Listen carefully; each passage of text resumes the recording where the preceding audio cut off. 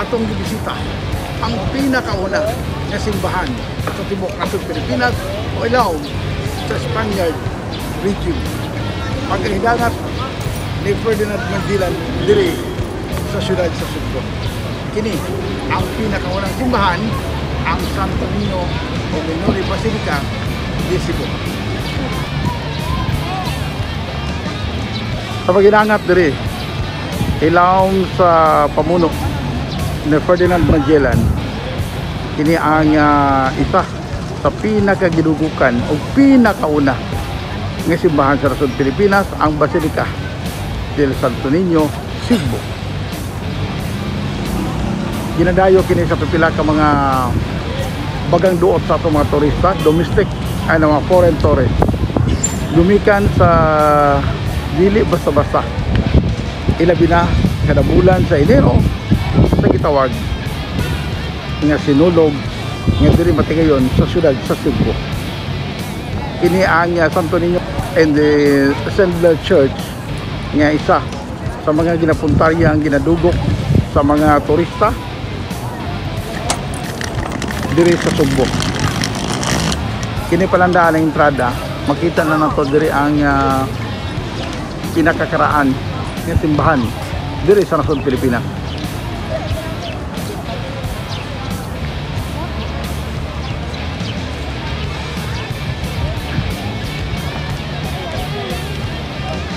Nakita na to karon nga usa sa mga ginadagsa gumikan usab sa pagkamilagruso sa batang o timaan ni Santo Niño o batang Hesus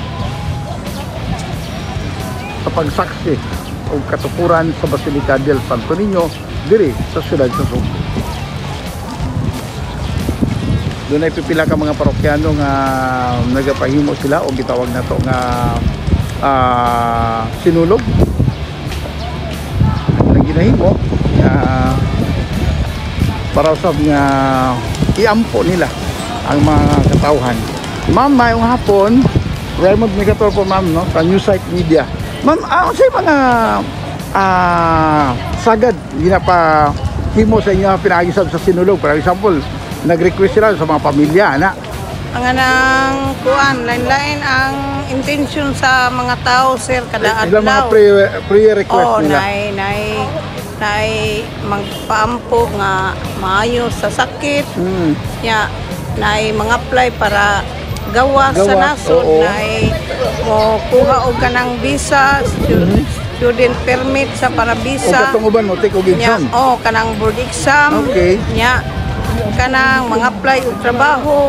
Mo na nga kung naay magpaampo nang lit na pag magpaampo na ko nya.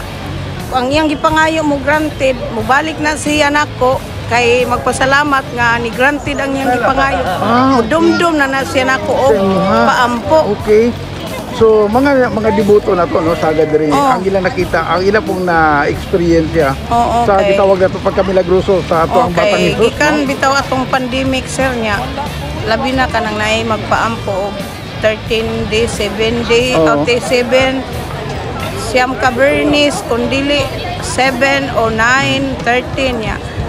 Pag pandemic kay dili man ni kada adlaw ato alternate man to. Alternate siya. Moto nga ang mga tao sad nga kanang nakabalik na mi dire nagpasalamat sila kay dili man pwede nga dili kada Bernis ang ilang Ang pangayoon nga ma kuan bitaw ma undang-undang ang ilang pangadji. Pangadji nila. Oo. So ang gusto nila Every ma, Friday. ma mapadayon. Mm, every Friday niya. Padayon siya. Moto mo, granted ang iyang gipangayo, mangita to siya sa nagampo niya nga pasalamat nga ni granted ang iyang gipangayo. So ang pamaagi sa pag-ampo ma'am is ah, mura siya sinulog.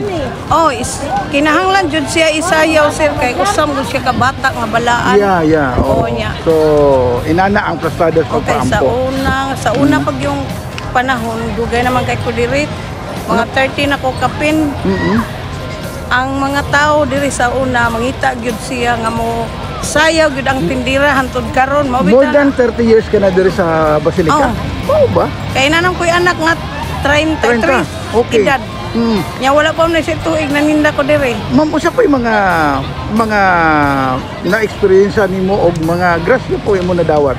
Since nga naa ka diri. Although Dili man kita mga ambisyon nga mo dato Oo, ta. Oo, kanang- oo, unsa gyud? Ang akong giampo sir sa akong kaugalingon sa tibuok kalibutan sa mga tao kanang dili man kay laing tao ray among giampo nga mo sang kaugalingon among pamilya pero sa akong pagpaninda dinhi nakapaidukar ko og mga anak. Ah, okay, professional yung mga anak mo. Oh. Mga pila ka Naam anak mo? anak nga kanang manudlog tog siya kanang sayaw. Sayaw, oh. Oo, kanang kanang- choreographer. Oo. Oh. Kuan kanang atong ko nang-apply nga na siya laing trabaho ron kay Nadawat ng Japon siya. Trabaho kadugay kayo Oo. ning kwarta sa gobyerno. So, nadawat sa na po oras siya. na siya makatabang niya ang mga anak na kamagwangan ako nga babae naminyo siya pero wala sad ni siya nagsalig Oo. na ko. Basta ang but pasabot na to nga successful ang imuhang kinabuhi. Ipangayo, oo. Ma'am, kinsa Limpay. pangalan niya nimo? Gina Rosada. Si Ma'am Gina Rosada. Okay. So, dibuto jud ka sa atong batang Hesus. Oh, Ma'am, thank you kayo sa imong pagpaunlak sa mga uh, interview, no? Thank you kayo very much and uh, maayong adlaw nimo. Viva Pit Senior. Viva Pit Senyor.